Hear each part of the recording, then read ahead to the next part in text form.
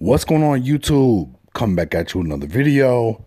So we saw this incident that happened with these gang members putting hands on this Mexican man who was just out trying to make ends meet. A lot of people were concerned that potentially could lead to some type of race war, something like that, given the climate in California between black and brown gangs. So um, I saw this. I wasn't really familiar with Swifty Blue, to be honest with you. This made me very interested in Swifty Blue moving forward. I gained so much respect for this man. I can't even tell you. Basically, black and brown were apparently united after this situation happened, doing exactly the opposite of what people thought was going to happen. I'm going to show you. So Swifty Blue got this up on his Instagram.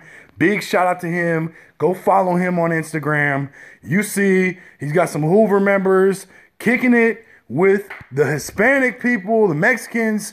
Um, so it looks like whatever potential issues there could have been behind this, that's actually Mr. Jap, the dude in the background with the uh, wife beater on. He's the dude who disciplined the Hoovers for doing what they did to that Mexican man. Um, so this is like the complete opposite of what people were expecting to see. I think it's amazing. I wanted to take a second to shine some light on this, let people know shit is not always what you think. You think the impossible can't happen, or you think something's impossible and it can't happen, but you see people like Swifty Blue making it happen. Shout out to him. Shout out to Mr. Jap and everybody else who was involved in this situation and trying to rectify it and making it right and move forward.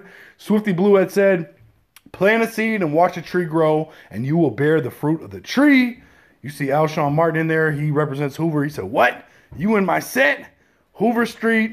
Compton AV's in there. Shout out to him. He said, watch us grow.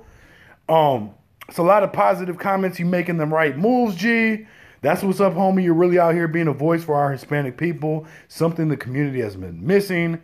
That philosophy, though, wise one. I was really happy to see this again. Now I went from not really knowing who Swifty Blue is to I'm a big supporter. I'm rocking with him. Whatever I can do to help Swifty Blue push what he's doing, I'm all for it. I definitely think this was a big thing, and I'm glad to see this happened. Let me know what you guys think in the comments, though. Hit the like, subscribe, share, leave some feedback.